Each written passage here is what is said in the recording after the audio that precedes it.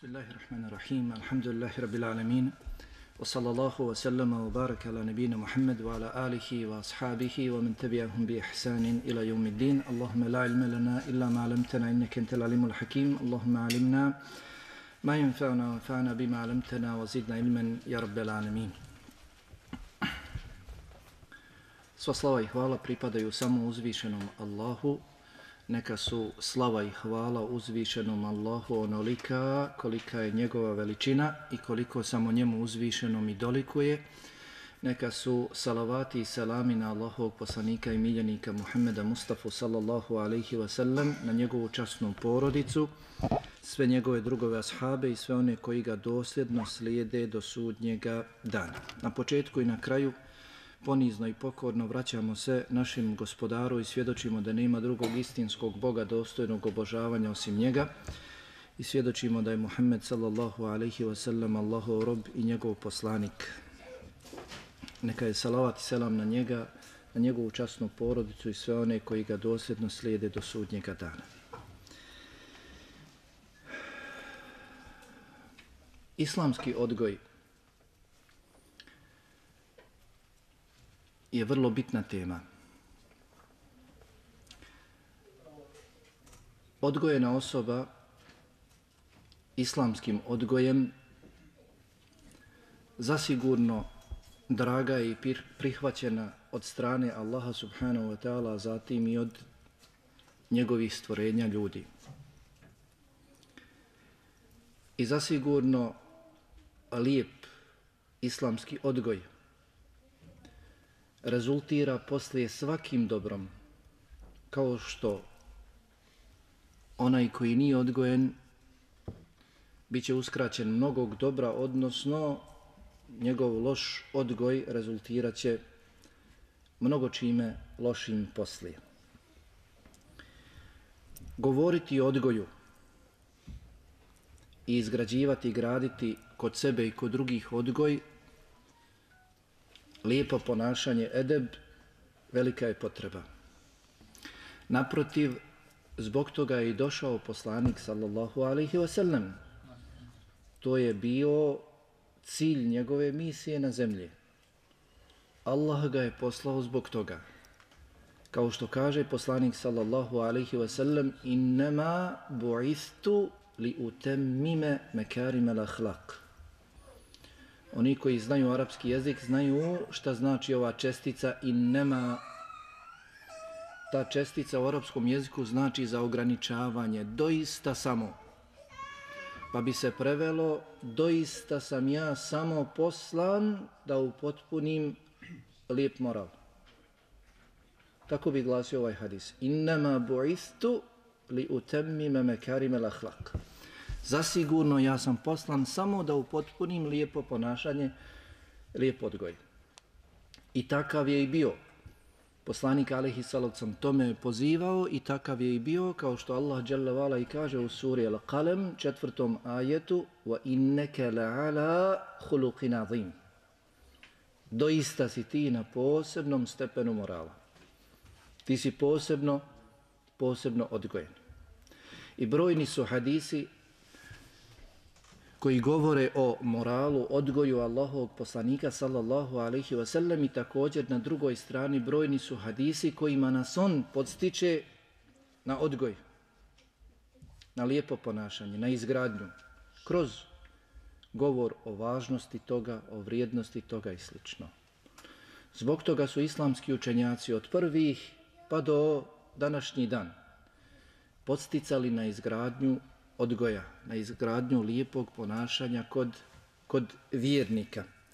Naprotiv, možemo naći njihove govore u kojima se spominje da su više podsticali da se izgrađuje odgoj nego neko drugo znanje. Da se više govori o odgoju ili da se prvo govori o odgoju nego o nekom drugom znanju. Govoreći da se sa odgojem razumijeva svako drugo znanje ako osoba nije odgojena, onda teško da će postići bilo kakvo znanje. Pa tako Ibnul Mubarek, rahimehullahu ta'ala, prenosi se da je rekao El Mahledu ibn Huseinu, mi smo preči da znamo mnogo edeba i ponašanja nego da znamo mnogo hadisa. U većoj smo potrebi da znamo mnogo edeba, mnogo ponašanja, kako se ponašati, prema kome, kako, na koji način, nego da znamo mnogo hadisa. U drugom citatu se kaže preče je da znamo i malo edeba nego mnogo hadisa. Hm? Zatim također Ibn Sirin, Mohamed Ibn Sirin kaže učili su odgoj i ponašanje kao što su učili drugo znanje. Prethodnici Mohamed Ibn Sirin govori o prvim generacijama pa kaže učili su odgoj i ponašanje kao što su učili svako drugo, svako drugo znanje. Također govorili su mnogobrojno lijepo ponašanje, edeb, mnogo edeba uz malo dobrih dijela bolje je od mnogobrojnih dijela uz malo edeba. Bolje je da si odgojen i da radiš manje dijela nego da radiš mnogo dijela, ali ta dobra dijela svojim lošim odgojem poništavaš. Hm. Također, nerazdvojna je veza između odgoja i akideta. Nerazdvojiva je veza između odgoja i akideta, ispravnog vjerovanja. Pa je nemoguće da čovjek tvrdi da je ispravnog vjerovanja, čistog vjerovanja, da ima loš odgoj. To je nemoguće. Islamski učenjaci, pogotovo prvi, kada bi pisali knjige iz akideta, ispravnog vjerovanja, pogotovo dakle s lancima prenosilaca. Poznato su brojna dijela, poput Kitabu Šarija od Lali Kajija, poput Usuli itiqade ahli sunne wal džemat, ona je od Lali Kitabu Šarija je od Ađurija, i drugi, oni bi u tim svojim knjigama o akidetu spominjali obavezno i poglavlje o odgoju To možemo naći i u Akidetul Vasitije od šehhul Islama ibn Taymiye na kraju spominje odgoj ehli sunnata wal džemata. Ibn Betta u svom dijelu El Ibana spominje obavezno. Sabuni u svom dijelu Akidetu Selehu Ashabi al Hadis spominje poglavlje odgoju.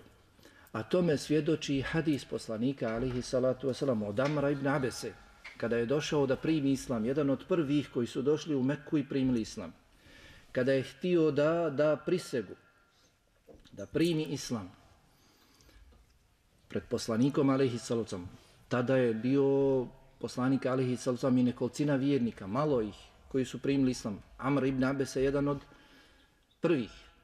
Pa prije nego li je pružio ruku i prihvatio islam, pitao je s čime te je poslao Allah. Tvrdiš da si Allahov poslanik? Da. S čime te je poslao? Čemu da pozivaš?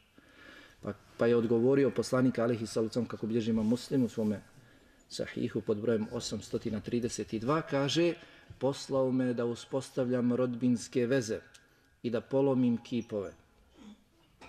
Poslao me da uspostavljam rodbinske veze i da polomim kipove, da se obožava samo Allah i da mu se niko ne smatra ravnim. Allah me je poslao da uspostavljam rodbinske veze i da polomim kipove. Pa dakle jasno se spominje i vjerovanje ispravno da se Allah jedan jedini obožava niko drugi mimo njega i spominje se održavanje veza, uspostavljanje veza, odnosno lijep odgoj. Pa vam je dobro poznat hadis na početku ima, uh, sahiha od imama Buharije, spominje se taj hadis u poglavlju o objavi, dakle u prvoj knjizi o objavi, gdje se spominje hadis da je bio upitan, jel tako je Bu Sufjan, od strane Herakla o poslaniku alihi salocam čemu poziva, pa između ostalog spomenuo da poziva i uspostavljanje rodbinskih, rodbinskih veza. Tako dakle da je neodvojiva veza između lijepog ponašanja i ispravnog vjerovanja. Nemoguće je da osoba za sebe tvrdi da je ispravnog vjerovanja, a da nema lijepog ponašanja. I obrnuto, na drugoj strani, lijepo ponašanje čovjeku ništa neće koristiti ako ne bude imao ispravno vjerovanje. Eh, kada je govor o lijepom ponašanju, lijepom odgoju, tu se govori o tri vrste odgoja. Dakle, ne misli se ovdje samo na jednu vrstu odgoja. Već, dakle, na lijepo ponašanje, lijep odgoj, misli se, dakle, na tri vrste. I sve ove tri vrste, kad god se kaže lijepo ponašanje, lijep odgoj, misli se na ove tri vrste odgoj prema Allahu i njegovom poslaniku, Muhammedu alihi salatu wasalam, na prvom mjestu. Odgoj prema samom sebi, svojoj duši i odgoj prema svim drugim ljudima. Mnogi, dakle, kada govore odgoj, odgoj, odgoj, misle samo na odgoj prema drugim ljudima, da se lijepo ponašaš prema drugim ljudima. Jeste, ali dakle ima i ovo dvoje prije toga. Odgoj prema Allahu i njegovom poslaniku, da si odgojen, da učtivo se obhodiš prema Allahu i njegovom poslaniku, Muhammedu alaihi salatu wasalam. Da se lijepo odgojiš, od, od, od, odnosiš prema svojoj duši, i nakon toga prema drugim ljudima. Definitivno, ko ne bude imao ovo prvo dvoje, neće imati ni ovog trećeg, ili u trećem će se pretvarati. A odgoj ahlak, kada bismo se vratili tamo na riječnike arapskog jezika, pogotovo, dakle, riječnike koji su sabrali islamske termine, kada bismo se vratili na značenje ahlaka, to je, dakle, našli bismo pojašnjenje da je to ponašanje koje je svojstveno tebi, koje je postalo dio tebe, kada se kaže da neko se lijepo ponaša, kaže se da je to dio njega. Ne zna se pretvara čovjek u tome. Tako se ponaša prema svima.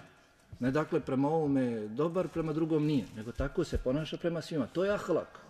Pretvaranje u ponašanju, to nije ahlak. To nije ahlak. Nije ovamo oko čovjeka fino, lijepo, posle kad on ode od tebe, ali se napati s njim, To dakle nije ponašanje. Sve si ono što si ga izmetio svo vrijeme, sve si dakle uništio sa ovom svojom rečenicom. To dakle nije ponašanje lijepo.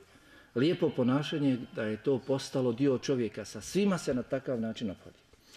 Pa lijepo se obhoditi prema Allahu i njegovom poslaniku Muhammedu sallallahu alaihi sallam. Dakle ima mnoga značenja, ali najbitnije prvo značenje jeste da se odaziva svemu onome što dolazi od Allaha i njegovog poslanika ili koliko je u mogućnosti a da se ostavi svega onoga što je zabranio Allah i njegov poslanik.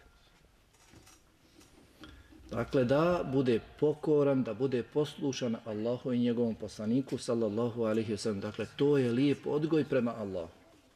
Tvrditi da se voli Allah, zaplakati kod spomena Allaha i njegovog poslanika, spjevati ovo, ono o Allahu i njegovom poslaniku, a biti daleko od pokornosti njemu, to nije nikakav edep nikakvo lijepo ponašanje prema Allahu i njegovom poslaniku.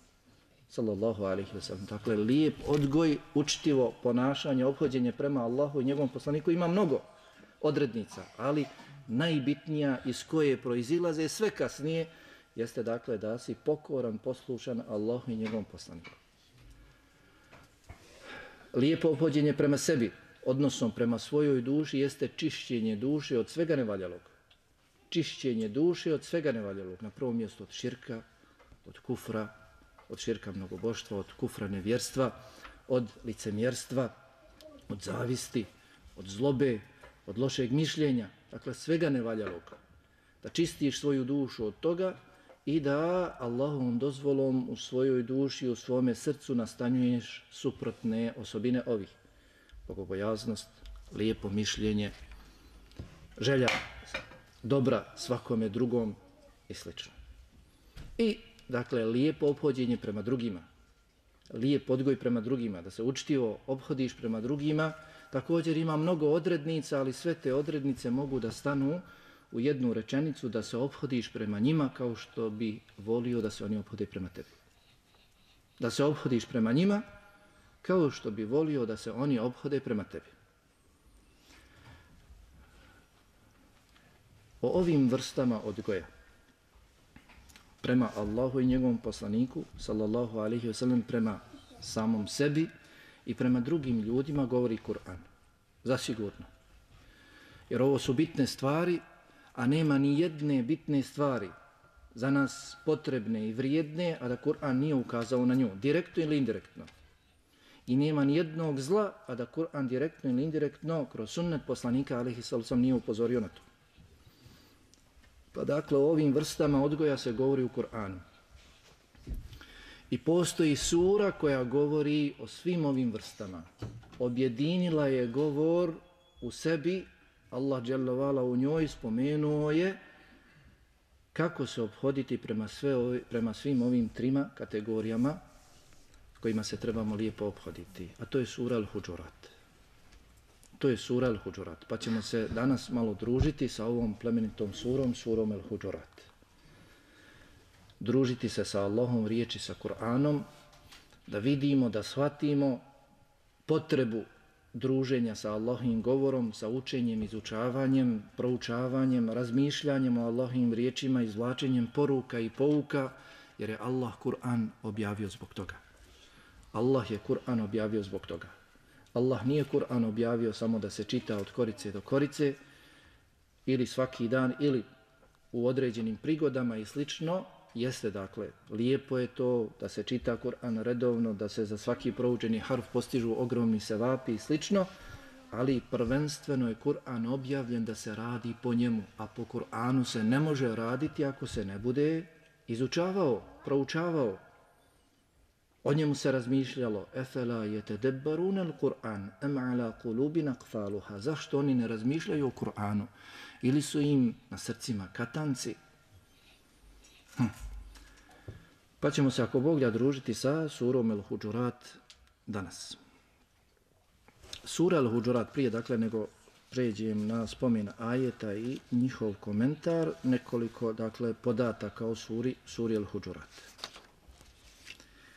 Sura Al-Huđurat je, kao što vidimo, ko ima mushaf može da se vrati, ko ne, može poslije.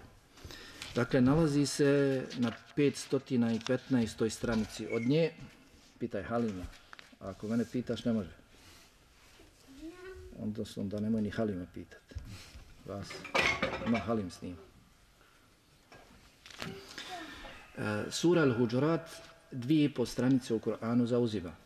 Od 515. stranice do 517. stranice. Po redoslijedu kuranskih sura. U Kur'anu imamo koliko sura? 114 sura. Prva sura je sura Al-Fatiha, zadnja sura je sura An-Nas. Od sure Al-Fatiha prema suri An-Nas na 49. mjestu nalazi se sura Na 49. mjestu nalazi se sura Al-Hudurat. Prije nje nalazi se sura Al-Feth, a poslije nje dolazi sura sura Qaf. Po redoslijedu objave, kao što je poznato u Kur'anu nisu sure niti ajeti smješteni onako kako su objavljivani. Objava je tekla 20 ili 23 godine, ali nisu sure poredane onako kako su objavljivane, već su poredane na drugačiji način. Kako? Zbog čega? Po naredbi Allaha Đalavala. Objavljivane su povodom određenih događaja ili nekada bez povoda neki ajeti su objavljivani, da bi pred kraj života poslanika alihi salatu wasalam po naredbi Allaha subhanahu wa ta'ala Melek Džibril dolazio i poslaniku alihi salatu wasalam spominjao gdje koji ajet, gdje koja sura treba da dođe. Zato dakle svaki ajet vezan je sa prethodnim ajetom. Svaka sura je vezana sa prethodnom surom. Definitivno. Jer nisu tek tako smješteni ajeti, tek tako smještene sure u Kur'anu. Zašto ovo govorim? Ovo govorim zato što je sura Al-Huđurat po redoslijedu objave 108. sura. Čuli ste ovo, rekli ste 114 sura. Dakle, sura Al-Huđurat je 108. po redosli objave kad se govori o kompletiranoj suri. Kada je završena njena objava, kao 108. sura. A smještena je na 49. mjestu. Smještena je kao 49. sura. Dakle, postoji veza između ove sure El-Huđurat i čuo si prethodne sure El-Fetah i kasnije sure Qaf. A objavljena je kao 108. poslije sure Al-Mujadela i prije sure Tahrim. Sura Al-Mujadela i Tahrim se nalaze u trećem džuzu od pozada, je tako, kad sam ja. Dakle, ovdje je daleko od njih smještena. Postoji, dakle, veza između sure Al-Huđurat i sure, i sure Al-Feteh. Medinska je sura po konsenzusu islamskih učenjaka. Kad se kaže medinska, to znači da ima i mekanska. Koje su sure mekanske, koje su medinske? Mekanske sure su sve one sure koje su objavljene u Mekke, tako? Ha? Prije hijđre. Sve one sure koje su objavljene prije hijđre i seljenja poslanika alihi salocam iz Mekke u Medinu smatraju se mekanske, ma gdje bile objavljene. Makar i bile objavljene na nekom drugom mjestu, ne u Mekki. I medinske sure su sve one sure koje su objavljene nakon hijđre poslanika alihi salavcam iz Mekke u Medinu, ma gdje bile objavljene. Ma gdje bile objavljene ajeti sure. Kao što je poznato, poslanik alihi salavcam je posle iz Medine dolazio u Mekku i bio dakle na oprosnom hađu i ajeti objavljeni, bez obzira što je Arefat, što je Mekka, Mina, dakle sve to u Mekki, Međutim, ne smatraju se to mekanski ajeti mekanske sure, već se smatraju medinske, medinske sure. I ova sura je, dakle, u cijelosti medinska, medinska sura. Dakle, objavljena posle Hidžre i svakako, dakle, posle sure El Mutafifin. Sura El Mutafifin, to možete naći u tefsiru. Sura El Mutafifin, koja se nalazi u džuzu Amme, je zadnja sura mekanska ili prva sura medinska ili dakle sura koja je objavljena tokom hijđre iz Mekke u Medinu. Sve sure koje su posle objavljivane, posle sure ili mutafifin, su medinske sure. Dobila ime El Huđurat. Kao što je poznato, mnoge sure imaju mnoga imena. Ne dakle samo onako kako je napisano ovdje u prijevodu, već dakle imaju mnoga imena sura Al-Fatiha ima mnogo imena, spominju neki dvadesetak imena, imam Kurtovi, svome tefsiru. El Huđurat, ova sura se zove El Huđurat. Ima starijih koji znaju Huđera, je tako? Huđera. Huđera je stara kuća, Huđera, dobro, stara kuća, sad je stara za nas. Tad je bila, tad je bila kuća. To malo vi ovako, onaj, koji imaju trospratnice i više spratova, za njih je to staro. Tad je bila kuća. Huđara je kuća. Huđurat je množina od ove riječi. Huđuretun, huđuretun je kuća, a huđurat je množina od, je li kuća, odnosno kuće. I ova sura je dobila to ime, kuće, dakle, ili ovdje prevedeno sobe, kuće, dobila je to ime, taj naziv po događaju kada su Arabljani iz plemena Temim u godini dakle, primanja islama, kada su delegacije dolazile i primale islam devete godine po hijđri, došli poslaniku, alihi salatu sam, kod mesčida i dozivali ga ispred njegovih kuća na neprimjeren način, na neučitiv način. O Muhammede, o Muhammede, izađi. I to se spominje da su mu došli u vrijeme kada se odmaralo. U vrijeme prije podne, Kajlula je prije podne. Iako ovdje se radi pa se ne može jel, većina radi, pa ne može. Kajlula je prije podne. Nije od sunneta da je kajlula posle podne. Kajlula je prije podne. Ako hoćete da znate šta je sunnet. Onako, samo usput, jel? Sad ko može, ko ne može, to je druga stvar. Ali kajlula, sunnet je prije podne, ne posle. Zato što je ogroman period između sabaha i podne. Ogroman period, dakle, kasnije je posle ispresjecano sve namazima i to je dovoljno kao, kao odmor.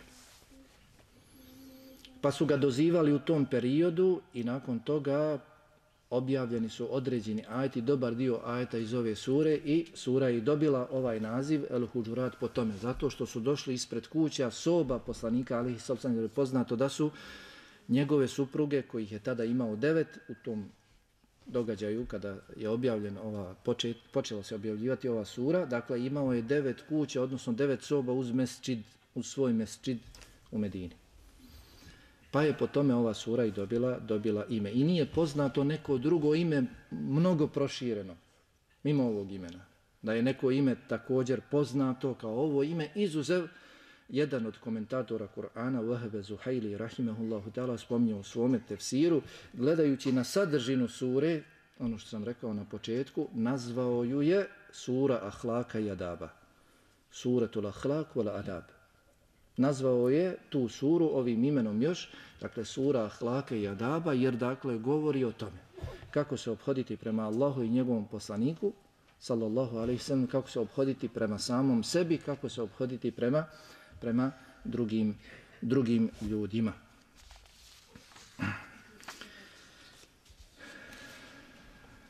Dakle, to je cilj sure, da izgradi kod nas uh, ova tri ova tri edeba, ova tri vida načina lijepog ponašanja. I dakle ono što je karakteristično za ovu suru jeste da pet ajeta u njoj otpočinje sa ja ejuhelledine amenu, ovi koji vjerujete. Pet ajeta otpočinje na ovakav način, a ono što dolazi nakon riječi ja ejuhelledine amenu, kako kaže Ibn Mas'ud radijallahu talan. I dakle ovakvih ajeta je mnogo. U ovoj suri pet. U Kur'anu mnogo. Kaže Ibn Mas'ud radijallahu talan kada čujete da Allah kaže ja ejuhallazina amanu ovi koji vjerujete onda dobro okrenite svoje uši. Poslušajte dobro jer nakon ovih riječi obavezno dolazi ili naredba ili zabrana. Ili se nešto naređuje, preporučuje dobro ili se zabranjuje kudi loše. Što ako bude što dobro praktikovao, time se povećava tvoj iman, jača tvoj iman. Ili ako se oglušiš o to dobro, ne učiniš ga, pogotovo ako je naređeno, tvoj iman stagnira, tvoj iman opada, slabiji. Ili ako se zabranjuje neš, neko dijelo nakon ovih riječi jaju helledine amenu, pa Allah zabranjuje nam nešto, kori nešto kod nas, ako se čovjek ogluši pa to ipak uradi, time opet iman njegov spada. Ako se ostavi onoga što je Allah zabranio, odazove se Allahu, posluša Allaha, time, time njegov iman time njegov iman raste. Pa dakle ovdje u ovoj suri imamo pet takvih ajeta u kojima nam se nešto posebno naređuje ili ili zabranjuje i dakle ova sura je onda jedan od načina jačanja jačanja imana definitivno. Dakle naredbe zabrane koje se nalaze u njoj njima jačamo svoj iman ako budemo pokorni Allahu, ako budemo poslušni Allahu. Hm. Dakle, Allah subhanahu wa ta'ala kaže 45 minuta, ali tako? Nije još. A, nije još. Samo da vodim računa. Allah subhanahu wa ta'ala ovu suru, suru al-Huđurat od prethodne sure, El Feth odvojio je sa Bismillom. Pa kaže Bismillahirrahmanirrahim. Kao što vam je poznato, Bismillah je kuranski ajet. Ali nije ajet sastavni dio ni jedne sure. Bismillah jeste kuranski ajet. Ali ne ulazi u sastav ni jedne sure. Pa čak ni sure El-Fatiha. Jeste na početku svih sura ču, čuli ste 114 sura, izuzev jedne sure, sura At-Tauba, nema dakle bismilu iznad. 113 sura iznad, dakle, imaju bismilu. Neću da kažem otpočinju jer to, dakle, nije sastavni dio sure. Pa čak, dakle, ni sura El-Fatiha. Kako kaže Ibn Abbas, radijallahu anhuma, nakon Allahovog poslanika, alaihi salocam, najučeniji čovjek u Allahove knjizi, najveći, najbolji komentator Allahove knjige, kaže Allah je objavio bismilu ovaj kuranski ajat je objavljen, Allah je objavio bismillu da njome razdvoji jednu suru od druge. Da njome razdvoji jednu suru od druge. Pa Allah kaže, razdvajajući suru El-Huđurat od sure El-Feth, Bismillahirrahmanirrahim, u ime Allaha svemilosnog milostivog u ime Allaha svemilosnog, milostivog. Bismillah, sa Allahovim imenom, Ar-Rahman je svemilosni, Allah subhanahu wa ta'ala svemilosni koji je prema svima milostiv, koji iskazuje svoju milost prema svim stvorenjima, i dobrima, i lošima, i vjernicima, i nevjernicima, i ljudima, i džinima i svim stvorenjima. Allah na određen način iskazuje svoju milost, Ar-Rahman. Zato nije dozvoljeno nikome, je li tako, da se nadije ovim imenom, kao što nije nikome dozvoljeno da se nazove Allah, da sebi nadije to ime, isto tako Ar-Rahman, jer niko nije sve milostiv. Ljudi jesu milostivi, ali nisu prema svima. Allah dželovala jedini je sve milostiv prema svima. Zato nije dozvoljeno Ar-Rahman ili po nekima čak i Rahman. Po nekima čak i Rahman nije dozvoljeno da čovjek sebi nadije ime.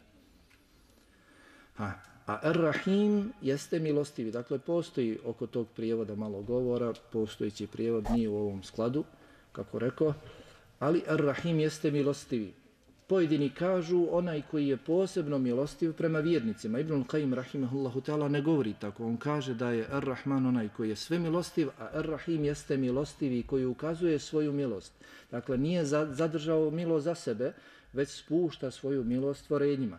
Ime Ar-Rahman govori o Allahoj osobini, a ime Ar-Rahim govori o Allahoj radnji, da on ukazuje, ukazuje svoju milost. Ha.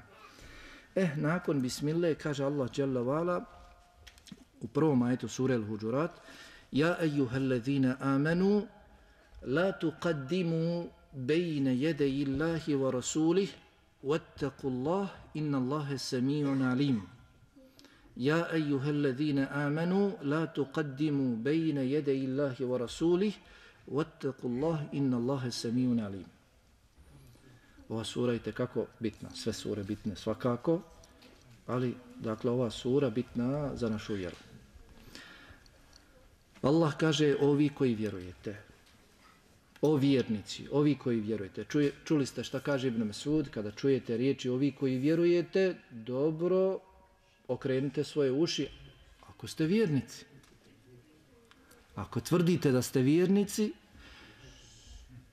ako tvrdite da vjerujete u Allaha, da ste ubijeđeni u Allaha svojim srcem i da to očitujete svojim jezikom i da to danonoćno svakodnevno dokazujete svojim dijelima, jer je to iman kod ehli sunnata val džamata, ubjeđenje u srcu, očitovanje jezikom i dokazivanje dijelima.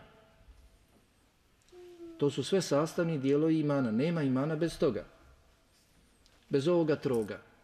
Ako tvrdite da ste takvi, da ste ubijeđeni u Allaha i u sve ono što dolazi od Allaha, i da to potvrđujete svojim jezikom i trudite se da dokazujete svojim dijelima, ne zadržavate se samo na srcu ili samo na srcu i jeziku, ne, već dokazujete i svojim dijelima, onda, evo, naredbe ili zabrane da dokažete, pokažete svoj iman. Jeste li doista takvi ili ne?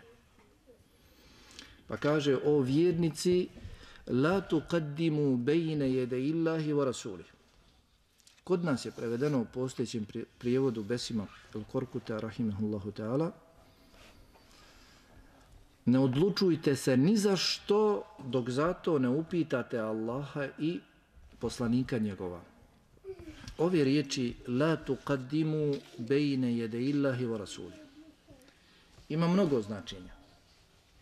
Pa jedno od značenja je nemojte donositi presudu sve dok presudu o tome ne donese Allah i njegov poslanik. Drugo značenje, nemojte govoriti suprotno Kur'anu i sunnetu. Treće značenje, nemojte dolaziti sa dijelima, riječima. Nemojte požurivati sve dok ne saznate šta je o tome rekao Allah ili njegov poslanik. Sallallahu alaihi wasallam. Četvrto značenje, nemojte dolaziti sa mišljenjima, sa stavovima, sve dok ne provjerite da li je o takvom mišljenju, o takvom stavu donio sud Kur'an ili sunnet njegova poslanika sallallahu alaihi wa sallam. Uglavnom, otprilike, dakle, ono kako je i prevedeno. Ne odlučujte se ni za šta. Pa čak, dakle, ni da formirate svoje mišljenje i da to mišljenje iznesete u javnost. Sve dok zato ne upitate Allaha njegovog poslanika, odnosno sve dok ne saznate je li Allah o tome tako govorio ili njegov poslanik. Sallallahu sallam. Dakle, ovo je nešto posebno za nas. I doista samo istinski vjernici drže se ovoga. Kad god se šta desi, čekaju, strpljivi su, ne žure, ne istrčavaju. Da vidimo koji je bio povod objave. Znate li koji je bio povod objave ovog ajeta? Sura al-Huđurat, jeste, čuo si, došla je delegacija i počela da govori, da doziva poslanika alihi salusam glasno na neprimjeren način, pa su objavljeni određeni ajeti. Međutim, drugi ajeti objavljeni su povodom drugog događaja. Nije, dakle, sura al-Huđurat komplet u cijelosti od jedan put objavljena. Ovaj ajet je vezan za tu delegaciju. Međutim, kasnije. Dakle, kad je ta delegacija došla i kad su prihvatili islam i kad su htjeli da se vrate kući, da prenesu svojima su narodnjacima koji su živjeli, došla je delegacija, odabrana skupina, posebni ljudi, njihovi predstavnici, prihvatili islam i sad trebaju da prenesu svojima, da i oni prihvate i da ih slijede, trebalo im je odrediti vođu, emira, koga će slušati, koga će pitati, kome će se vraćati, kod koga će tražiti savjete, rješenja, pa posle on dolaziti od poslanika alihi sallam i slično. Pa je Ebu, poslanika alihi sallam sjedi i oni su ispred njega. I poznato je, uz poslanika sallallahu alihi sallam uvijek Ebu Bekri Omer. Uvijek Ebu Bekri Omer. Mnogi hadisa bio sam, bio je poslanik uz njega Ebu Bekri Omer. Bio je poslanik uz njega Ebu Bekri Omer. Uhud se zatresao, doista, ha, na tebi je Ebu Bekri Omer i Osman i slično. Ha? Pa poslanik Alehi Salasam sjedi, ispred njega je ta delegacija, Ebu Bekr s jedne strane, Omer s jedne strane i kaže Ebu Bekr, Allahov poslaniće odredi tog i tog. Nek bude taj, taj, nije bitno da ne spominjem imena. Neka od njih bude taj. A Omer kaže, neka bude taj. Poslanik Salasam šuti. Oni sad treba da idu. I treba da im se odredi. O tome sad oni razgovaraju. Treba da im se odredi čovjek kojeg će slušati. I Ebu Bekr prvi istrčava. Nakon toga Omer. Eubek kaže, Omere, nisi spomenuo drugu osobu, osim da mi, što bismo rekli, kontriraš. Da se meni suprostaviš. Nećeš ko ja, samo neke drugačije. I podigli glasove i počeli jedan na drugog da izdižu svoje glasove, a poslanik, sallallahu alaihi sallam, šuti, sjedi. I Allah objavljuje ovaj ajet. O vjernici, ne odlučujte se ni za što. Ne istrčavajte ispred Allaha i njegovog poslanika. Kakav događaj i kakvo je to bilo istrčavanje, donošenje stavova i mišljenja, kakve danas mi stavove i mišljenja, po kojim pitanjima vjere donosimo, iznosimo i kako mi postupamo. U drugom ajetu će doći, dakle, opasno upozorenje. Dakle, da se zapitamo, kada je Ebu Bekr i Omer ukoren, radijallahu anhuma, kad su ukoreni zbog sitne stvari, rekli bismo, sprem onoga što mi danas činimo, sprem onoga što danas mnogi čine pa uvode u vjeru novine. Dakle, ovaj ajet je jedan, dakle, od glavnih ajeta kojima se dokazuje neispravnost novih stvari u vjeri nemojte ići ispred Allaha i njegovog poslanika. Je to Allah propisao? Je li poslanik alihi salusam to dostavio? Je on to praktikovao? Zašto idete ispred Allaha i njegovog poslanika? Dakle, u ovaj ajet ulaze ti ljudi novotari koji uvode novine u vjeri. Korije se ovim ajetom kao što postoje brojni drugi ajeti koji ukazuju na neispravnost takvih postupaka i na odbacivanje takvih postupaka. Jedan također od poznatih ključnih ajeta el jeume kmeltu lekum dinekom. Danas sam vam potpunio vašu vjeru. Pa kogod dođe sa nečim novim, o čemu Kur'an ne govori, o čemu sunnet ne govori, što nisu radili ashabi, dođe osoba danas s tim, pita se, to sa čime si došao, Je li od vjere? Jel tvrdiš da je to od vjere ili onako običaj? Je li to ibadet ili običaj? Pa kaže ovo je ibadet. Dakle, s time se jel upotpunjuje vjera. Ako kaže da je od vjere, a nema nigdje u Kur'anu, niti u sunnetu, niti u praksi ashaba,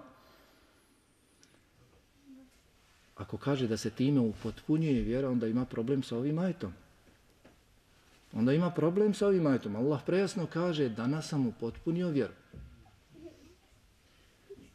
A nema upotpunjavanja nakon Allahovog upotpunjavanja, kada je nešto puno gotove. A ako kaže nije od vjere, ako kaže nije upotpunjavanje, sam je sebi presudio. Ono što nije upotpunjavanje jeste manjkanje. Šta će nam manjkao? Mi želimo ono što je potpuno. Sam je sebi presudio. Ima Malik, rahimahullahu ta'ala, ima opasne riječi povodom onoga i dakle ove riječi su svima nama. Ne dakle tamo da odmah mislimo da nam misli lete prema nekome. Svima nama da se od jutra do mraka na veče preispitamo za svoje postupke koje smo radili. Imaju li utemeljenja u kitabu i sunnetu? Jesu li to radili poslanike alihi sallam njegovi ashabi? Jesmo li se odazvali ovom kuranskom ajetu? Hm? Ima Malik Rahimehullahu tala, ima opasne riječi povodom onoga koji dolazi sa novim stvarima u vjeri. Pa taj ili tvrdi da Allah nije upotpunio vjeru ili tvrdi da poslanik sallallahu alaihi sallam nije dostavio. Ako tvrdi da je Allah upotpunio, jeste, onda poslanik je prešutio, nije dostavio tu stvar. Dakle, postojala je, ali nije dostavio. Kako nije došla do dan danas? Ti dolazi s tim, kaže poslanik, moraju da prešuti. Dakle, opasno jedno i drugo. Ako tvrdi da Allah nije upotpunio, Boga mi, ima problem veliki. A ako tvrdi da je Allah upotpunio, onda neminovno mora reći da poslanik nije dostavio. A poslanik, sallallahu alaihi sallam, dostavio je definitivno sve. Kada je dostavio ajete, riječi Allaha subhanahu wa ta'ala kojima ga on kori. Allah poslanika u pojedinim ajetima kori. Am, uh, sura, sura Abese wa Tavalla. Abese wa Tavalla. Okrenuo se i namrštio. I pogledaj kako, s kojim edebom Allah govori o poslaniku. Nije rekao okrenuo se i namrštio. Već govori u trećem licu. Okrenuo se i namrštio. Tebi dajući do znanja kada ti govoriš o poslaniku alihi salatu wasalam, da vodiš računa kako ćeš se izražavati o njemu.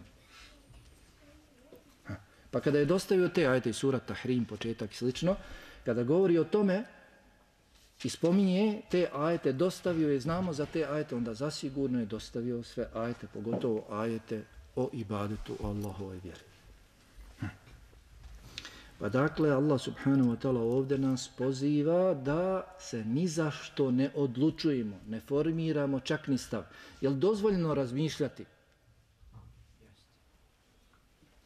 Razmišljati, govoriti, razgovarati je dozvoljeno ali na kraju reći ovo je stav, a nema za to dokaza, to dakle nije dozvoljeno.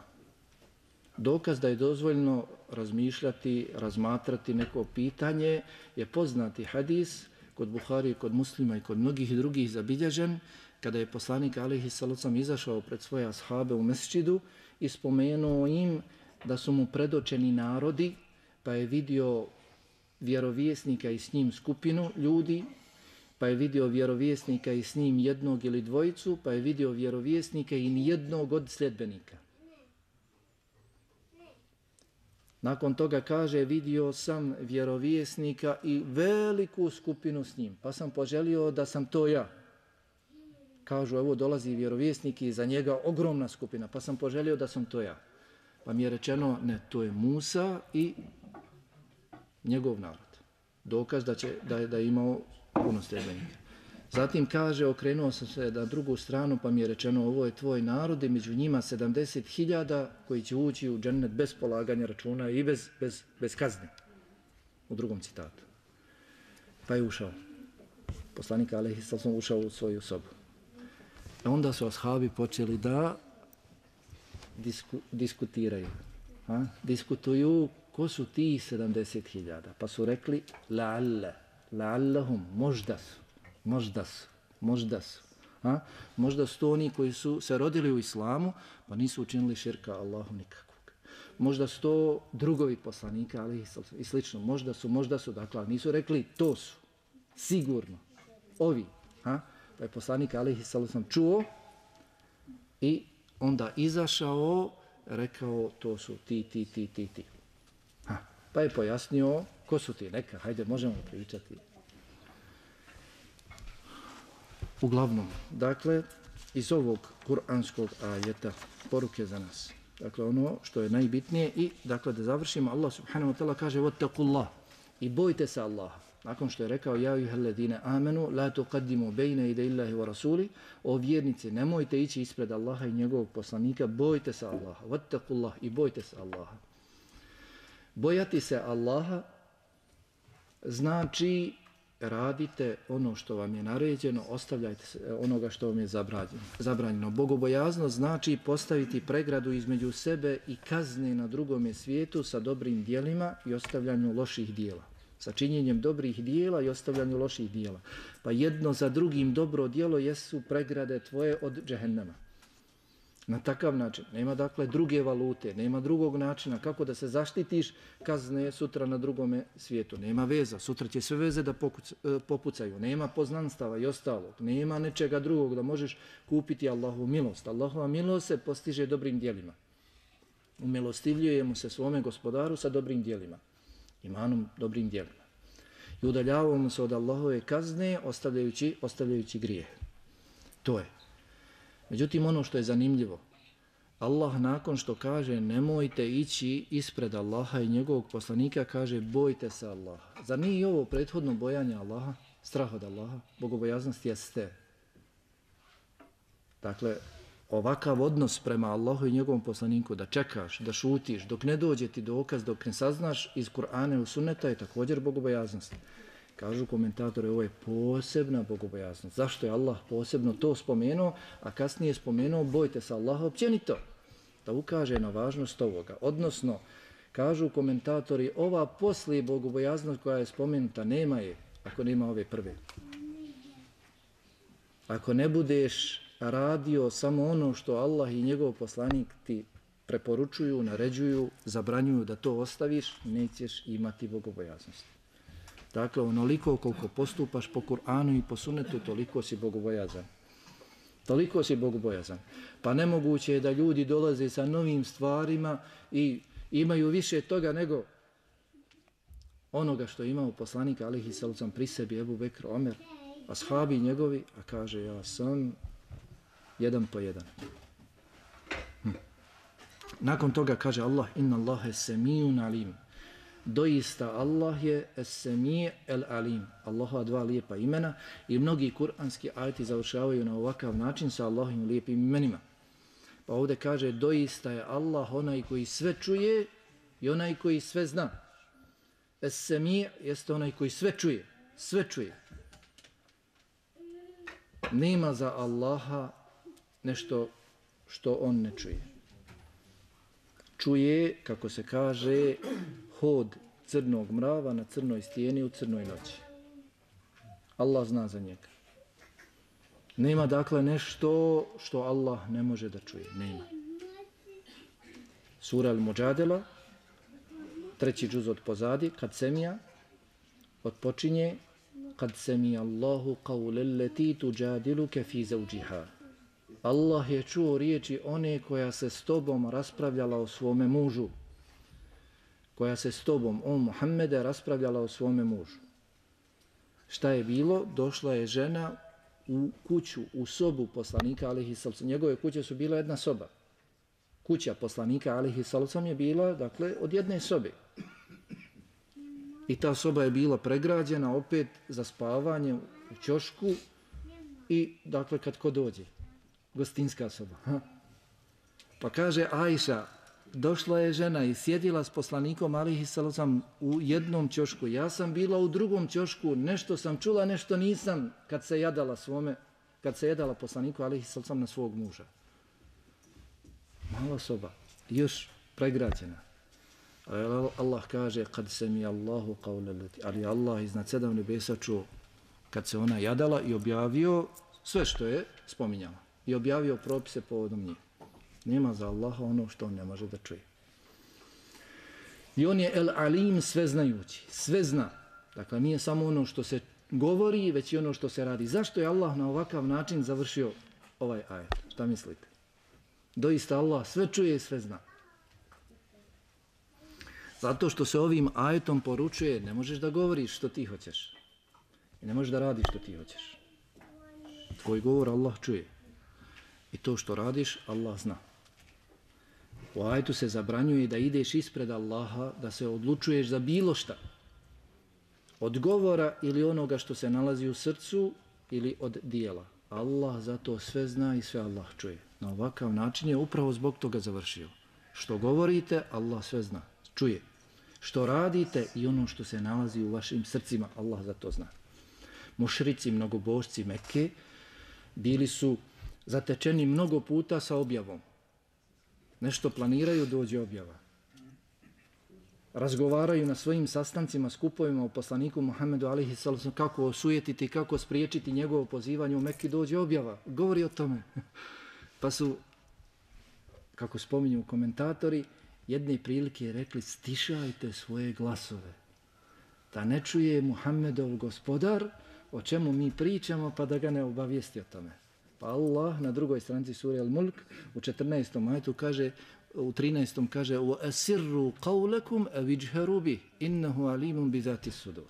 Da li vi stišali svoje glasove ili glasno govorili Allah zna ono što je u srcima. Allah zna ono što je u srcima.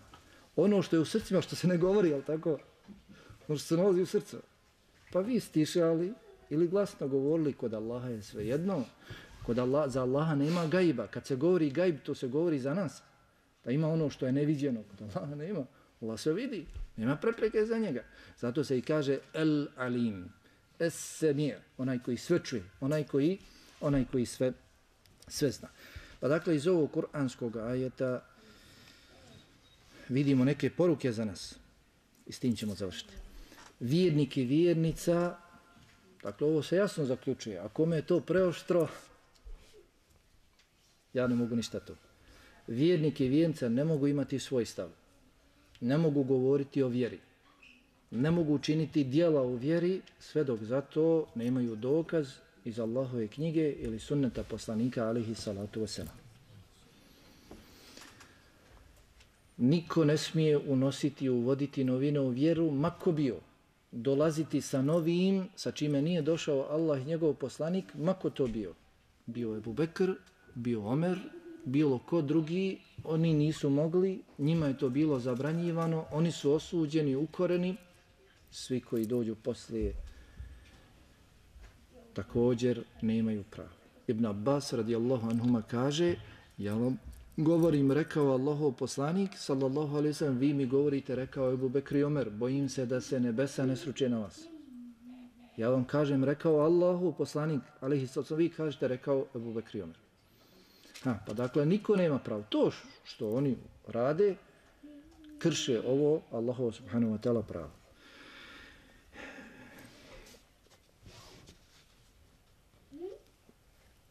Dakle, Allah subhanahu wa ta'ala onaj koji sve čuje, i sve zna, pa se dobro pripazimo kako i šta govorimo o našoj vjeri i šta praktikujemo, šta radimo.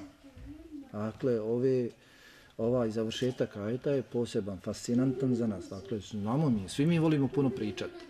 Ali kad kažemo poslije, malo vratimo se, obračunajmo se, vidimo, vidimo da li su te naše riječi na mizanu, na vagi Kur'ana, Kur'ana i sunneta. I uvijek kažem, što god slušamo, što god čitamo, čemu god se učimo, učimo se za nas prvo. Ne da nam misli odmah lete na ovog ili na onog, petog ili desetog, eh, hoćemo se nadrobiti, nagovoriti i slično. Ne, već dakle da se mi, mi odgojimo. Ha. Vidimo dakle ono što sam rekao, da ne možemo biti bogobojazni bez pokornosti Allahu i njegovom poslaniku alihi wasallam. I dakle ovo i tekako utiče na naš iman jer Allah na početku kaže o vjernici.